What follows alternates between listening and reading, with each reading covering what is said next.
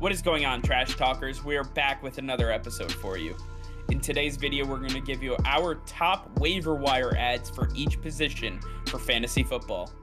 All that and much more coming your way right now!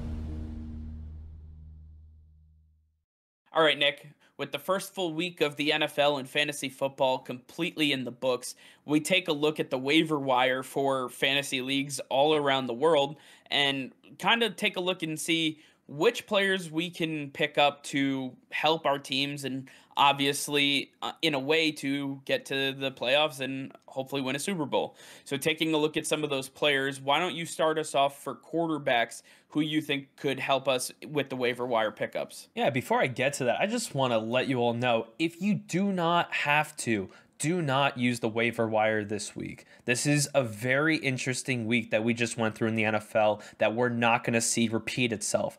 Everything that you saw, all these running backs, performing poorly, that's not going to happen again. A lot of fluke things happened, and you're not going to see it happen again. So don't go off of what you saw in week one go by what you drafted and believe in the players that you drafted and just see how it plays out going after next week. Then you can try to make some roster moves through the waiver wire. But I would only use the waiver wire this week if you absolutely need to, if you lost guys like Raheem Mostert or Jerry Jeudy. But otherwise, I think that there are just not that many options available. And you're going to see some of the players on your current roster develop in next week's games.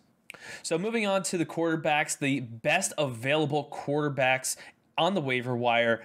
I'm going with Jameis Winston, who had an unbelievable game in week one. He didn't have the yardage that we're looking for, but he did have the touchdowns, and really that's what matters most. He did not have any turnovers, which is a huge improvement over what we saw from him in Tampa Bay. I think that Jameis Winston is going to be even better moving forward because his weapons are no name players. He's working with guys like Juwan Johnson and Tony Jones and and Marquez Callaway, these guys who are supposed to be the big names on the team, didn't do much as far as getting a lot of targets, but they caught touchdowns, and that's what you want from your quarterback. I think that Jameis Winston offers a ton of value, and I think that he's going to be a very good waiver wire option going into week two yeah, if you're afraid of Jameis Winston and his potential for turnovers, then I would caution you to go with somebody like Derek Carr. We saw Derek Carr lead a comeback victory over the Baltimore Ravens on Monday Night Football. Derek Carr threw for over 400 yards with two touchdowns and an interception. Interception was kind of fluky. It bounced off of a receiver, then off of a corner, and then into the hands of a safety. But at the end of the day, Derek Carr showed that he can lead this offense. Derek Carr had 56 passing attempts in this offense, and he looked fantastic out there. When you take a look at what he was able to do fantasy wise, he had about 29 points. But you take a look and say, well, that was the Baltimore Ravens defense that he went up against. What's going to happen when he goes up against the Pittsburgh Steelers, the Miami Dolphins, the Chargers, the Bears? Those are his next four games. So I think Derek Carr could be a really nice pickup for anybody looking to replace somebody like Matt Ryan. For running back options this week, I'm targeting Kenny Gainwell, the running back from the Philadelphia Eagles. This guy is a Swiss Army knife, and that's why I love him. He is a big weapon in the receiving game, the run game. He can throw the ball if you really need him to. Kenneth Gainwell was utilized as such in college, and that's exactly how Nick Sirianni wants to use him in Philadelphia. There are so many opportunities for him to get the ball. He's going to be out there for snaps when Miles Sanders is there, when Reagor and Devonta Smith. So it doesn't matter what what the package is, what the scheme is on offense, he, there's going to be a way for him to be out there on the field. I think that's going to lead to a lot of potential targets for him, which is why I think he, there's a lot of upside in Kenny Gainwell this week. Absolutely. I, I like Kenneth Gainwell a lot and what he brings to the table, but you talked about Raheem Mostert early going down with his season ending injury, and now taking a look at the backfield for the San Francisco 49ers. Most people would think that Trey Sermon is re- ready to take over, but in fact, Eli Mitchell is going to really take this by the reins because Trey Sermon was a healthy scratch, was which is never a good sign. Eli Mitchell rushed 19 times for 104 yards and a touchdown. This guy was absolutely phenomenal and picked up right where Raheem Mostert left off. This guy looked exactly like him on the field, just without the injury concerns. I like Eli Mitchell. He's a big unknown right now, but anybody reeling from the Mostert injury, this is the guy that you're going to want to get. And if you're in a FAAB pickup league, I'm going to put a lot of stock in getting Eli Mitchell to replace Mostert.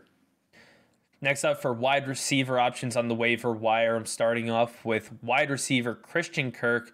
The Oklahoma connection for Kyler Murray and Christian Kirk is alive and well, bringing back exactly what they had at the end of last season. Christian Kirk going five for five with that massive touchdown. I think that that's going to continue moving forward throughout the season. AJ Green to me, he's not a real wide receiver, too. Christian Kirk is the real second option to DeAndre Hopkins, and I believe that his target share is going to go up over time. I think that Kyler Murray has a lot of trust in him, and I think that they're just going to continue continue to improve together. I really like Christian Kirk. He's not only a waiver wire guy for this week, but I think he, he could be a long term solution at the wide receiver position. Yeah, another guy that I'm really high on, and somebody that most fantasy channels and most fantasy gurus are talking about. Bryan Edwards. Bryan Edwards is one of those wide receivers for the Raiders that is supposed to break out this season, and we saw just a little glimpse of what that looked like in their Monday night football game, specifically in overtime when we thought that he had the game winning touchdown just a couple inches short of the goal line doesn't matter. Bryan Edwards is going to outwork every single defender. He is one of those guys that is not going to be held down for a single game. I really like what he brings to the table. In week one, he had four receptions on five targets for 81 yards. This guy almost had a touchdown added to that, but I, I, think you can really rely on him, especially with Henry Ruggs being so inconsistent, Zay Jones only being a third or fourth option, and then the rushing attack here outside of Darren Waller, there's not much consistency with the Raiders. I think he's going to be that stable guy that they rely on in the passing game. And finally, we have the tight ends. The best option I can offer you is Juwan Johnson, the tight end for the New Orleans Saints. If we go back to Jameis Winston's time in Tampa Bay, he loved OJ Howard. He loved Cameron Brate. And that's continuing over in New Orleans now. He loves the tight end position, especially in the red zone. Juwan Johnson had three catches on three targets in the red zone, two of which came in the end zone. Juwan Johnson, he may not get you a ton of yards, but he's going to have the red zone opportunities each and every week. There's a lot of upside here. He does have a low floor, but I believe that jo- Juwan Johnson is among a lot of young, unproven talent, and that Jameis Winston is going to continue to work with his tight end position that he beloves. Absolutely. And I'm going to give you one that is a proven commodity, but isn't really rostered in most leagues. So Dallas Goedert, the tight end for the Philadelphia Eagles, is only rostered in 51.4% of fantasy football leagues. So you have a one in two shot in getting this guy on your roster. And what he was able to do was nothing short of spectacular four receptions on five targets for 42 yards and a touchdown. He has the rapport and the chemistry with Jalen Hurts to really get the job done. I think he is the tight end one moving forward. Zach Ertz is taking a backseat to this guy. And at the end of the day, Dallas Goedert is going to be one of the leaders in receptions and targets for the Philadelphia Eagles moving forward. Yeah, and if we go back to that Eagles game where Dallas Goedert actually almost had a second touchdown in that game. He just came a little bit shy of the end zone. And if you put two touchdowns on Dallas Goedert, he pretty much becomes the tight end one for the week. And then everybody's trying to snag him up. If you can grab him in your waiver wire, I would absolutely do so. 100%. All right. Well, I want to hear from you guys. Let us know in the comments down below which players you plan on picking up and which players you want us to tell you whether you should or should not pick up for your waivers. We're here for you guys, so let us know in the comments down below. All right, well, that's going to be all for now. Thank you all for watching. Be sure to like this video and subscribe to the channel if you haven't already. Hit that notification bell. We go live every single day. That'll be all. Peace and love.